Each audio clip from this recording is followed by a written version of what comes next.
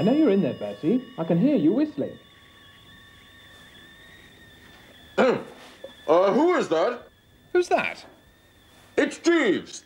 Oh, It's Cyril Fungy Phipps. Barmy? Steady on, Jeeves. Come on in, quick. Come on, come on. Most extraordinary thing. I was talking to your man Jeeves a second ago. No, it was me. Well, he said he was Jeeves. No, it was me. I was pretending to be Jeeves. Oh, I see. Jolly good. Why? Ah, well, I don't want my Aunt Dahlia to know that I'm here. Had a bit of a set to down at her place.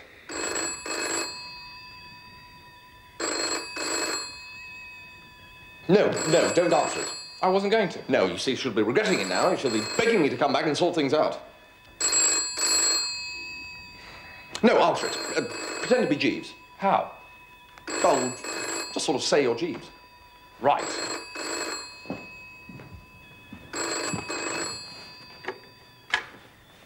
Uh, Mr. Wooster's residence? Where is Mr. Wooster? He's not at home, sir. I'm Jeeves. What do you mean, you think not? Oh, Who was it? Jeeves. Where was he? Just round the corner. Uh, sent as an emissary, no doubt. Well, no, I'm sorry, but one can only do so much. What's an emissary? It's something that's sent. So what are you doing here, Barmy, anyway? Mm, nothing really. Just came in for a smoke. Hope you don't mind. No, smoke away, Barmy. Smoke away.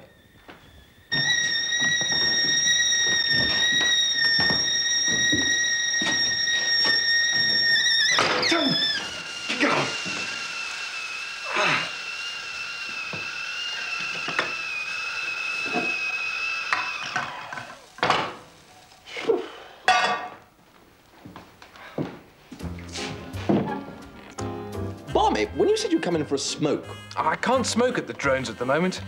It's awfully pros, you see. We've got to bet on how long we can go without smoking. My doctor says it's better for me anyway. Good morning, Mr. Fungy Phipps. Morning, Jeeves. Mr. Wooster? Morning, Jeeves. I'm just making some tea. Really, sir? Uh, perhaps I could be... No, no, no, no, no. I may as well do it now that I've started. No, I've got quite used to looking after myself. It's surprising, is it not, sir, how much one can assimilate in a day? Mm. Now, Jeeves, it says here it's best to use soft water, but that after boiling it may again become hard. Well, I mean, that's ice, isn't it? And now it says here that one, uh, yes, that's right, one teaspoonful per person and one for the pot. Well, I mean, what does the pot get one? If you'll allow me, sir. Cup of tea, Barmy? Love one.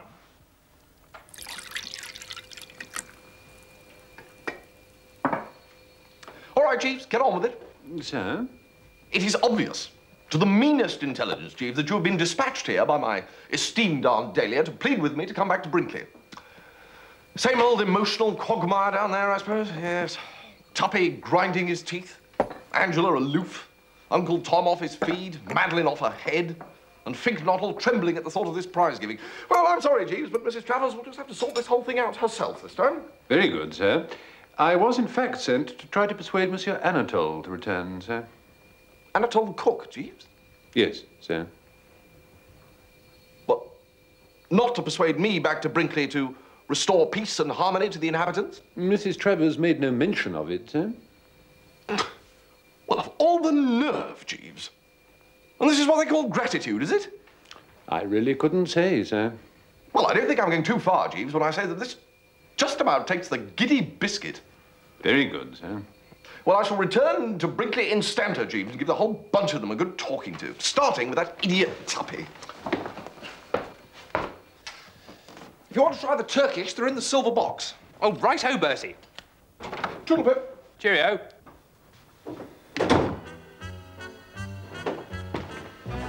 Ah. Ah, You're not going out, are you? I am, Wolfie. How can I help you? Well, I wanted to have a smoke. Ah, say no more, Wolfie. My house is your house. I've got this bet on with Barmy. No, no need to explain a thing. If you want to try the Turkish, they're in the silver box.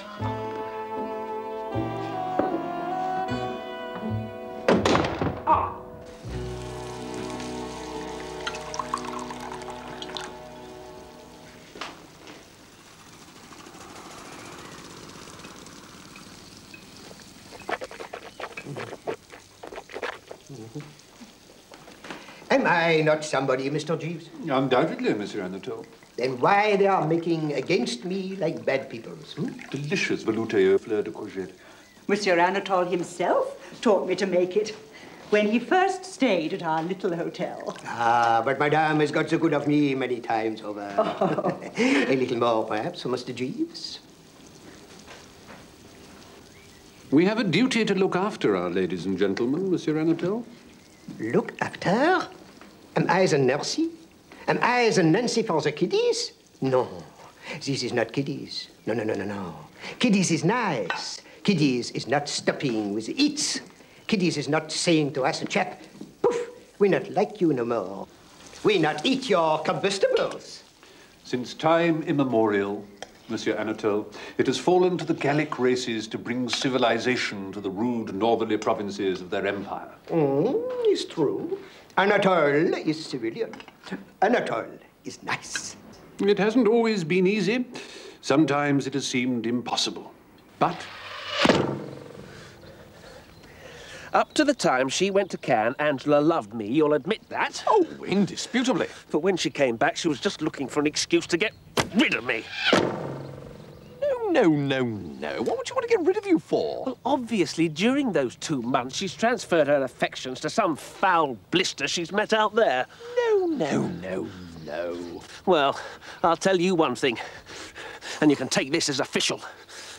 If ever I find this slimy snake in the grass, I propose to take him by his beastly neck, shake him till he froths, and then pull him inside out and make him swallow himself. All right? My dear Tuppy, during those two months on the Riviera, it so happens that Angela and I were practically inseparable. If there had been somebody nosing around, I should have spotted it in a second. I see. So, no mixed bathing and moonlight strolls? No, no, no, no. Well, only with me. It was quite a joke at the hotel.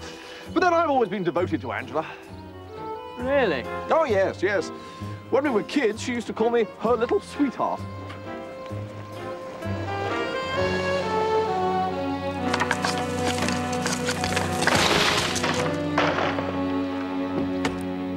Ah, you're back. You're back. Welcome, welcome, Monsieur Anatole. We have no more stopping with the eating, I think. Huh? I get my bagage. Jeeves, I can never thank you sufficiently, never. You've saved my husband's digestion. What I want, Dahlia? I didn't know that your master was back, Jeeves. Has he no mercy?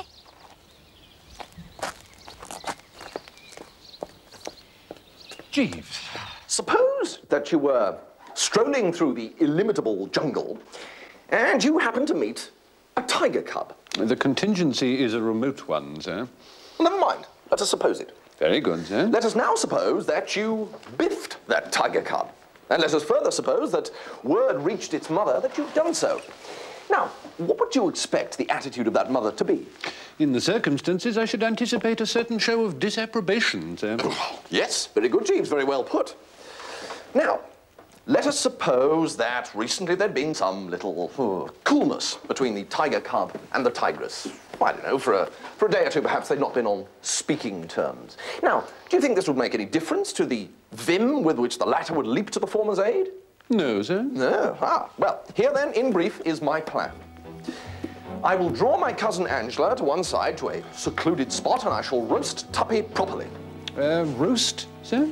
Uh, um, disparage, knock, uh, decry, denounce. I shall be very terse about Tuppy, giving it as my opinion that in all the essentials, he is more akin to a warthog than an ex-member of a fine old school.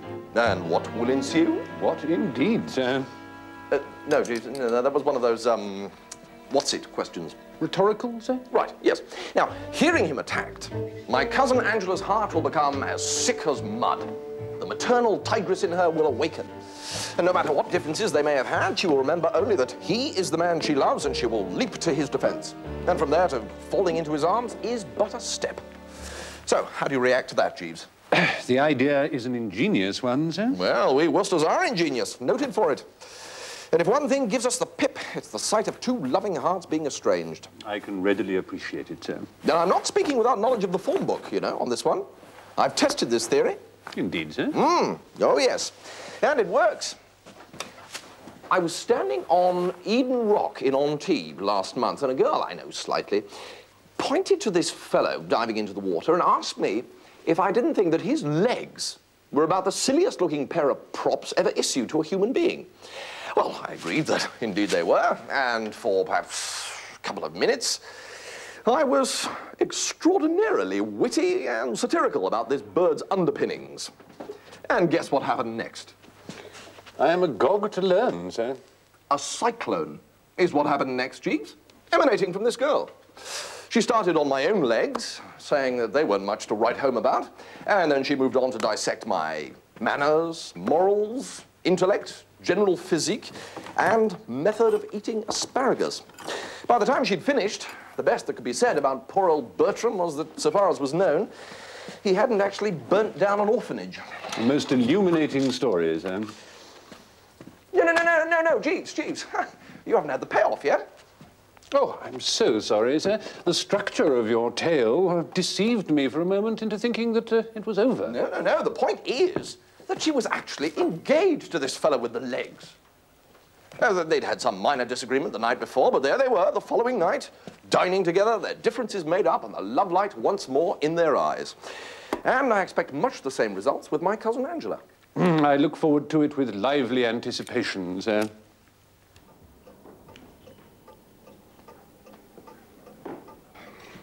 Care for a saunter, Angela, old girl? Love to, Bertie, darling. Good, eh?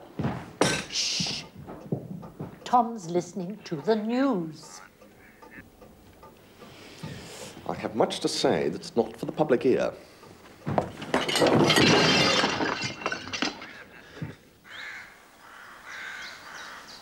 Bertie, darling, this grass is awfully wet. It'll ruin my shoes. Well, put your feet on my lap. All right. You can tickle my ankles. Right. now, Angela, what about you and Tuppy? Is it true what I hear, that the wedding bells are not going to ring out? Yes, Definitely over, eh? definitely.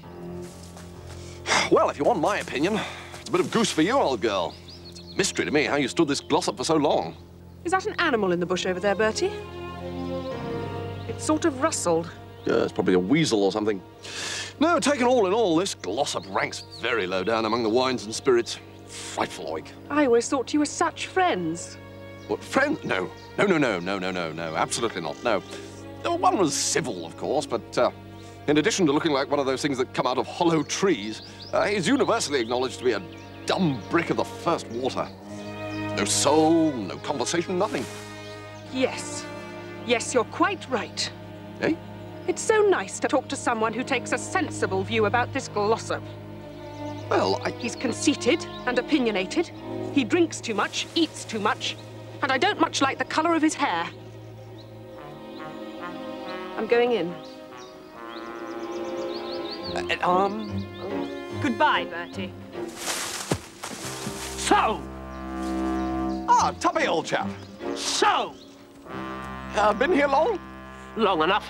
And in about two seconds, I'm going to kick your spine up through the top of your head. Uh, ah, yes. Um, I, I think I know what's on your mind, Tuppy. Um, if you were in those bushes during the conversation with the recent Angela... I was. You were. You were. Right, good. Um, yes, well, we won't go into the ethics of the thing. Um, eavesdropping, some people might call it. A bit un-English, Tuppy, I think you must admit. I'm Scots. Really? I didn't know that. I'm going to kick you. Uh, now, now, look, now, look, Tuppy, Tuppy, it, it, it was a plan. What are you talking about? Well, if, if, if it wasn't a plan, why would I knock you to Angela? Because you're in love with her yourself. I rest my case. What? No! Someone stole her from me in Cannes. You told me yourself she was with you all the time and hardly spoke to anybody else. Uh, now, now, now, now, Tuppy, look, you, look, you've got this all wrong, and I can, uh, and I can prove it. Now, during that sojourn in Cannes, my affections were engaged elsewhere. What? My affections engaged elsewhere during that sojourn. Well, who was she? My dear Tuppy, does one bandy a woman's name? Oh, one does if one doesn't want one's bloody head pulled off. Right, well, yes, right, yes. Well, obviously this is a, uh, a special case. Madeline Bassett. You're in love with that weird God help us Bassett? Well, I don't think you should call her a weird God help us, Tuppy. Odd in some of her views, perhaps. One does not quite see eye to eye with her in the matter of stars and bunny rabbits, but not a weird God help us. And you stick to it that you're in love with her? It is not 24 hours since she turned me down. Turned you down? Like a bedspread, in this very garden. So you'll readily see that I can't be the chap, if any, who stole Angela from you in Cannes. Well, because your affections were engaged elsewhere? During that sojourn. Oh, I see. All right, then. Sorry to have troubled you.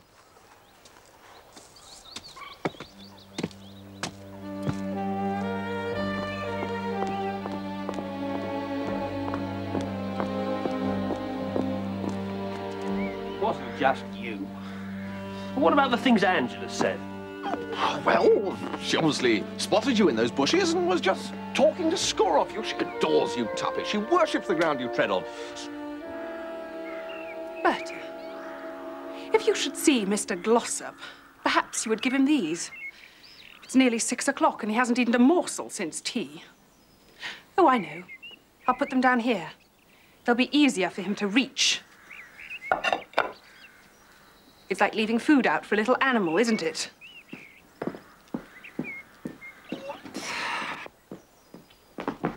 Uh, Angela?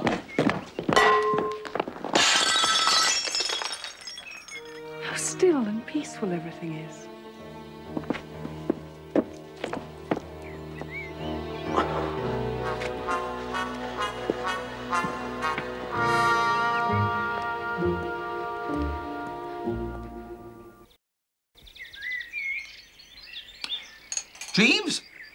Decided that Tuppy and Miss Angela will have to disentangle their own affairs.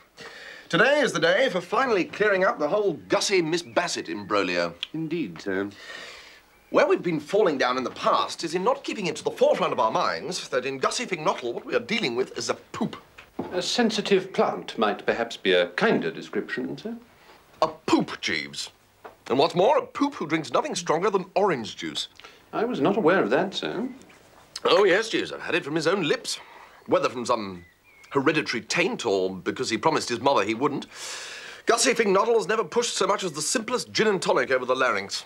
And he expects, this poop expects, Jeeves, under these conditions, to propose marriage to the girl he loves. Well, uh, I mean, one, one hardly knows whether to smile or weep. What? You consider total abstinence to be a handicap in a gentleman wishing to make a proposal of marriage, sir? Oh, dash it, Jeeves, use your intelligence. Were it not for the juice of the grape and the grain, weddings would be a thing of the past. Proposals but a dim memory. Without it, Jeeves, we babble.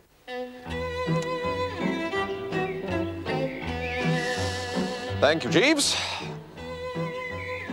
Only active measures promptly applied can prevent this poor poop Fink-Nottle from babbling about newts again. Which is why I intend to secure a bottle of gin and lace his luncheon orange juice with it. Sir? I can't imagine why you sir, Jeeves. Plan I've put forward seems to me to be icily logical. I fail to see why it should attract any sirring. No, sir. Let us hear your objections then, Jeeves. A certain amount of risk is inherent in your stratagem, sir. It is not always a simple matter to gauge the effect of alcohol on a subject previously unexposed to such stimulants. It can have distressing results in the case of parrots. Parrots? I'm thinking of an incident when I was in the service of the late Lord Brancaster, a gentleman who owned a parrot. One day it happened that the bird was lethargic, sir, and his lordship offered it a portion of seed cake steeped in the 84 port. Good egg. The bird bit his lordship on his thumb and sang part of a sea shanty. It then fell to the bottom of its cage and remained there for some considerable period of time, with its legs in the air, unable to move. I merely mention this, sir. There's a flaw here, Jeeves. Do you know what it is? No, sir. Gussie isn't a parrot. True, sir, but... No more discussion, Jeeves. He's a poop. Very good, sir.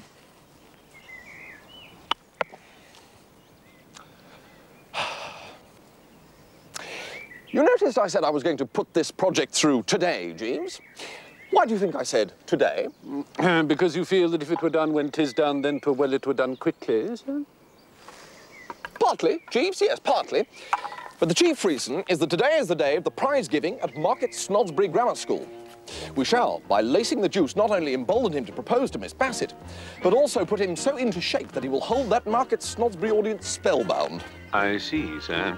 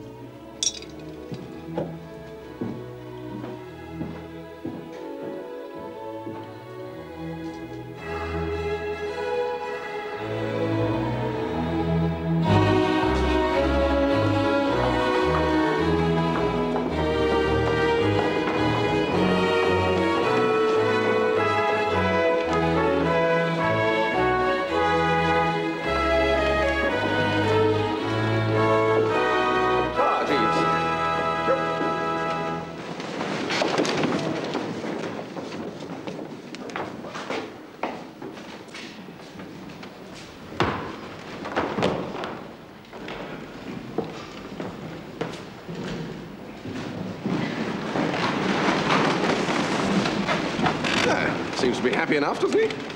Indeed, sir, the engagement appears to have lifted his spirits quite considerably. Engagement? You're not aware that uh, Mr. Fink-Nottle proposed to Miss Bassett this afternoon and was accepted, sir? Well, well, well, Jeeves. Yes, sir. You see how right I was? Indeed, sir. Yes, this must be rather an eye-opener for you, Jeeves. Watch me handling this case. Luckily, sir, I found an opportunity to add half a bottle of ardent spirit to his luncheon orange juice. Lords, ladies and gentlemen. Oh, Jeeves. So did I, Jeeves.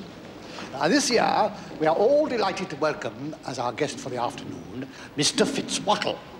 Think Nottle. I should say, Fink Nottle. Well, of course you should, you silly ass. well, all right, get on with it. We are all happy, as I say, uh, to welcome uh, Mr. Fink Nottle, who has kindly consented to present the prizes. Now, I'm sure Mr. Fink-Nottle's name is familiar to us all. Well, not to you. You didn't seem to know it so dashed well, what?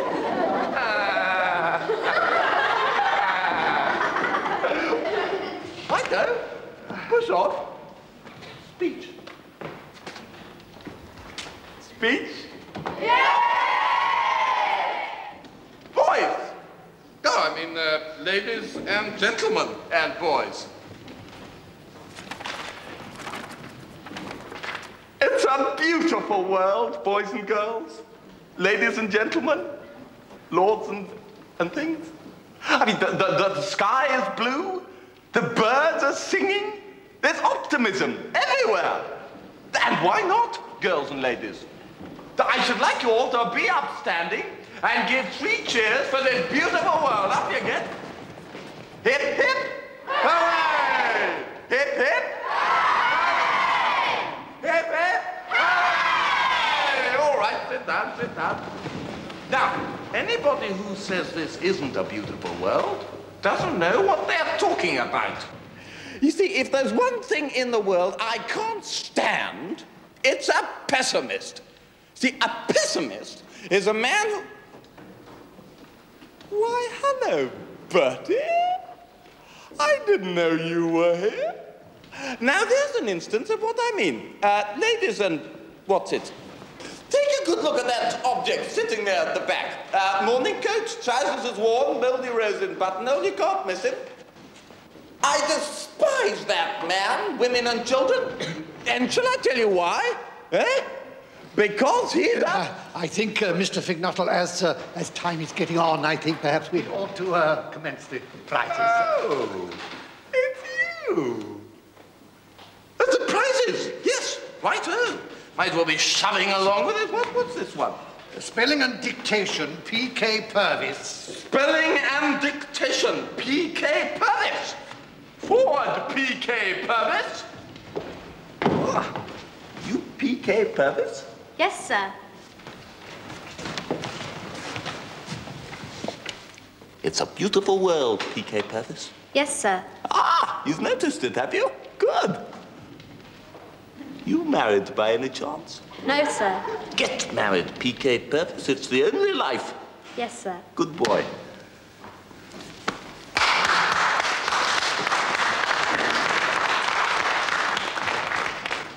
Right, Headmaster, what's the next one? G.G. Simmons, scripture knowledge. G.G. Simmons, scripture knowledge. So, you've won the scripture knowledge prize, have you, G.G. Simmons? So, yes, sir. Yes. You look just the sort of little tick who would. And yet, how are we to know that you came by it in an open and above-board manner? I can assure you, Mr. Fink-Nottle, every care was taken to ensure a correct marking. Well, if you say so. All right, G.G. Simmons, take your prize. Sir, thank you, sir. But let me tell you, there's nothing to stick on side about in winning a prize for scripture knowledge. Bertie Wooster won a scripture knowledge prize, but of course Bertie frankly cheated. He succeeded in scrounging that scripture knowledge prize over the heads of better men by means of some of the rawest and most brazen swindling methods, even at a school where such things were the norm.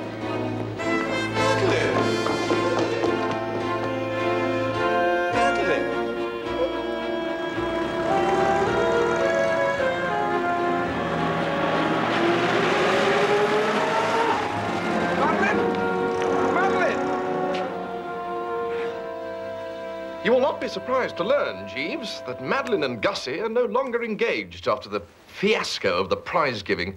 Was there much more after I left? No, sir. Uh, Mr. Fink-Nottle's inflamed cerebral condition brought about an early closure. He returned to the theme of Master G.G. Simmons and his Scripture Knowledge Prize, hinting at systematic cheating on an impressive scale.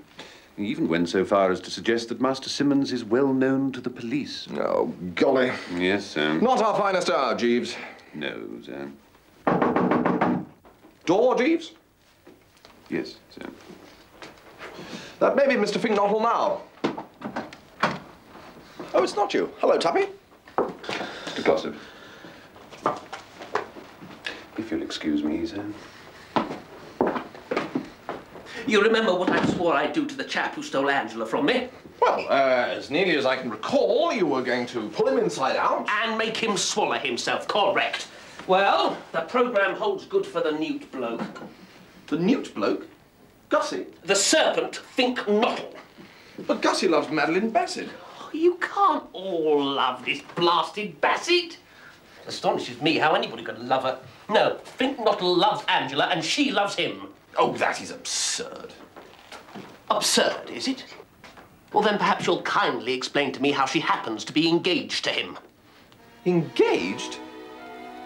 Tuppy, you could knock me down with an F. There must be some mistake. There is. The snake Fink Fink-Nottle's just made it.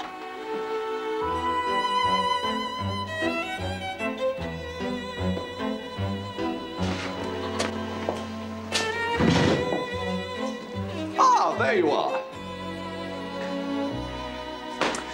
Where are all the staff tonight, you know? They've gone over to the staff dance at Kingham Manor.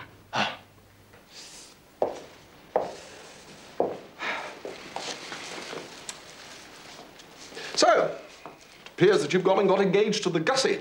Quite right. We're in love. Oh, come now, Angela. Gussie's... Gussie's a splendid chap in many ways. If, if you've got a sick newt on your hands, well, Gussie's just the fellow to tell you what to do until the doctor comes. But honestly, old thing, you could fling bricks by the half hour in England's most densely populated districts without hitting one girl willing to become Mrs. Fink-Nottle without a general anaesthetic. Well, I thought it would be fun. Well, I'm surprised at you, young Angela.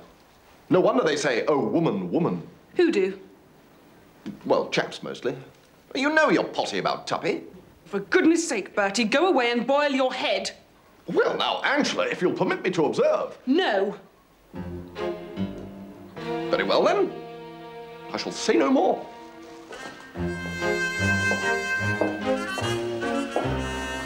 Just. tinkety-tonk. I say, Jeeves, do you know what's happened? Mr. Fink-Nottle has got himself engaged to my cousin Angela. Gentlemen who are discarded by one young lady are apt to attach themselves without delay to another, eh? It is what is known as a gesture. My Uncle George... Oh, never mind your Uncle George, Jeeves. No, sir. Save him for the long winter evenings, eh? Just as you say, sir. We must concentrate on rescuing Gussie. Go forth and scour the neighbourhood. I don't think that will be necessary, sir. Mr. Fink-Nottle is here. Mr. Fink-Nottle, sir? Gussie?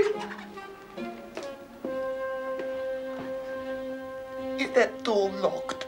Yes, sir. Let me in, blast you! Open this door. What's going on? Are you in there? What do you think you're doing? Listen, if you don't open up, I'm going to jolly well break this door down. What's up? What's up? Right. Why was that door locked? Is one to have no privacy, Glossop? I instructed Jeeves to shut the door because I was about to disrobe. There, you see? Thank you, sir. Thank you, Jeeves. But I heard his snaky little voice. Well, I intend to search this room from end to end. And if he is here, you better say goodbye to him quickly and order your lilies.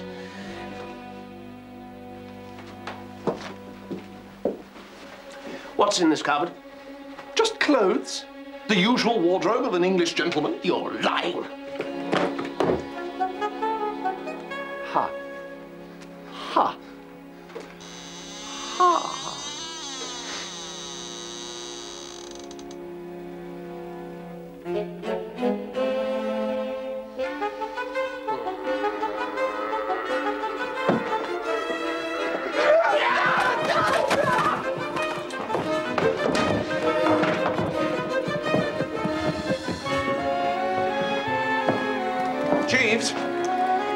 Is all getting a bit thick.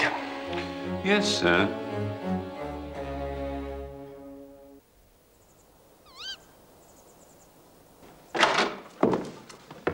Ah, hello, Aunt Dahlia.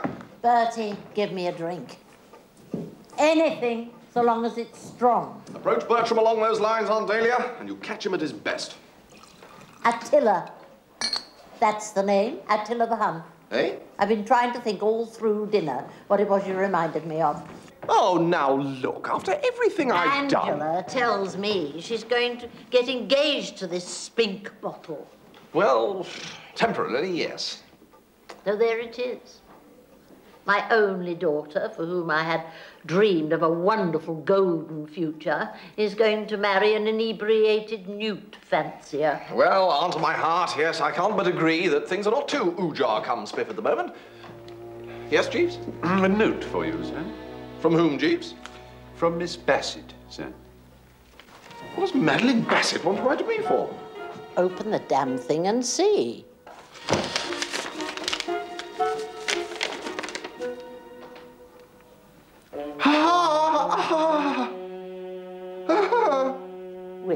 Stop that?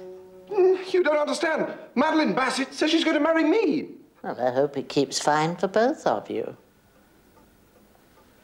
I hope you won't take it amiss, sir, but I've been giving some attention to what might be called the amatory entanglements at Brinkley. It seems to me that drastic measures may be called for. Oh, drastic away, Jeeves. The prospect of being united for life with a woman who talks about little baby bunnies fills me with an unnamed dread. Supposing, sir, that in the middle of the night the fire alarm bell were to ring. Oh, not the fire alarm thing again, Jeeves. Yes, sir. As I see it, sir, the occupants of the house would suppose that a conflagration had broken out. Oh, possibly, Jeeves. Possibly.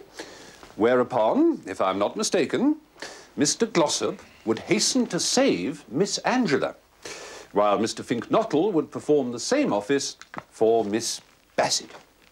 Huh? This is based on psychology, is it, Jeeves? Yes, sir. It is thought to be the instinct of everyone upon the alarm of fire to save the object dearest to them. It seems to me there's a grave danger of seeing Tuppy come out carrying a steak and kidney pie. But resume, Jeeves, resume. Well, sir, the relations between the two couples could scarcely continue distant after such an occurrence. Hmm, well, you may be right. I just feel that there's great possibility for a slip-up here, Jeeves. However, I'm not in a position to cavil at even a hundred to one shot. At what hour would you suggest bonging the bell? Not before midnight, sir. Hmm. Shall I bong, or will you? I think it would be better coming from you, sir.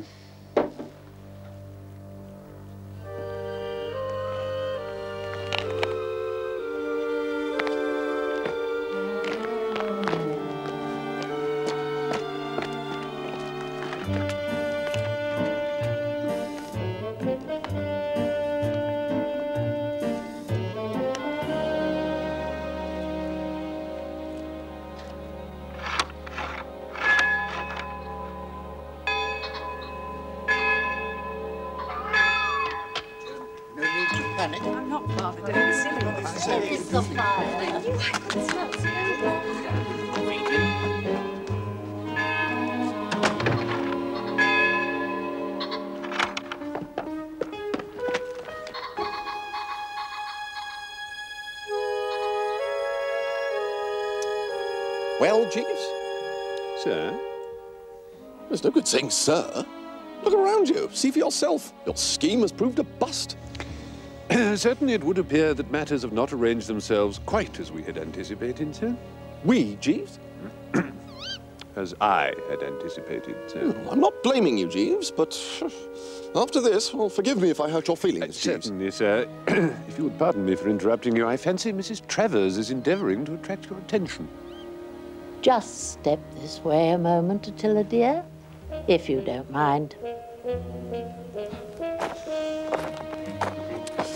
What ho, Auntie? Well, Bertie dear, here we all are. Well, quite. It was you, dear child, who rang the fire bell, was it not? Um, I did sort of ring it, yes. Any particular reason? I mean, did you want something, or was it just a whim? Uh, I thought there was a fire. What gave you that impression, darling? Tell Auntie Dahlia. Oh, I thought I saw flames. Um, the front door's shut. Somebody must have shut it behind them and it's locked. Then try another door. They're all locked. We could ring the doorbell. And who would you expect to answer it, dear? The servants have all gone to the dance at Kingham, and Mr. Seppings no doubt took the key of the back door with him. We can't stop out here all blasted night, blast it. If Seppings has taken the back door key, why doesn't one of us take one of the cars, drive over to Kingham and get it from him? That's the first sensible suggestion I've heard all day. It's locked.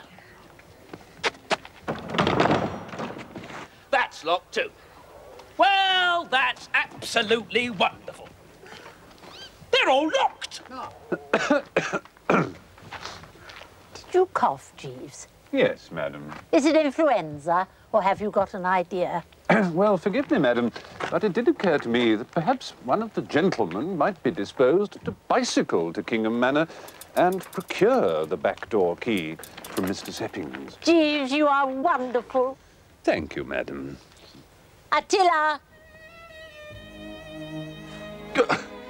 Well, I haven't ridden for years. Well, you'll soon get the knack. Once you've taken a toss or two. But it's miles to Kingham. Nine miles. And nine miles back? And nine miles back. But, but, but it's dark. What if I barge into something? I'll come a frightful cropper. Good. Very well, Aunt. So be it.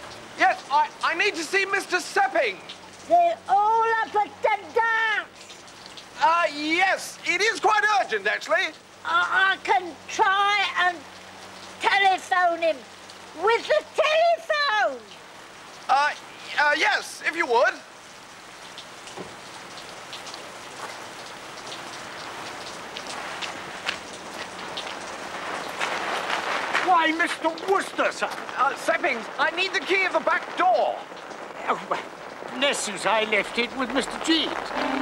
Jeeves? He said he wanted to walk in the garden before retiring for the night. He was going to leave it on the kitchen windowsill for me. Mr. Wooster?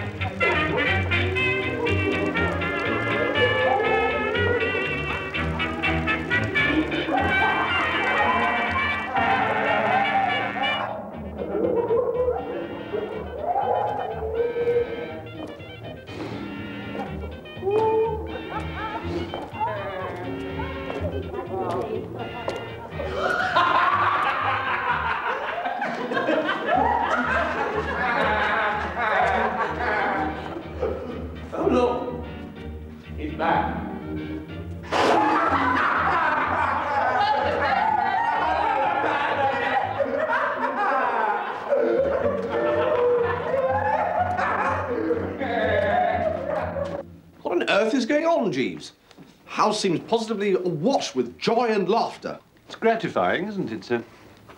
Oh, come now, Jeeves.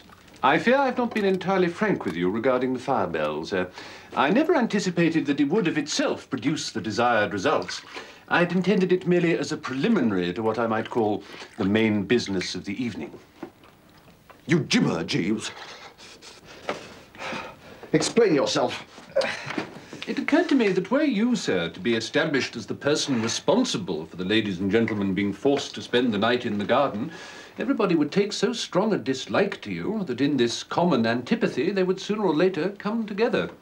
And such proved to be the case. After your departure on the bicycle, the various estranged parties agreed so heartily in their abuse of you that the ice was broken. And when I informed the ladies and gentlemen that I had found the key, and it was borne in on them that you were having that long ride for nothing, and there was a notable lessening of tension. Oh, there was, was there? Of course, the rain was a bonus. Of course. As soon as the storm began, their animosity vanished completely. Mr. Glossop and Miss Angela are once more betrothed, sir. Oh? And what about Miss Bassett? Do I still have to marry her? No, sir. Miss Bassett is once more safely affianced to Mr. Fink-Nottle. Phew. Well, praise be, Jeeves. Indeed, sir. Although, if you'll forgive me for saying so, your methods are a little on the rough side. Well, sir, one cannot make an omelette without breaking eggs.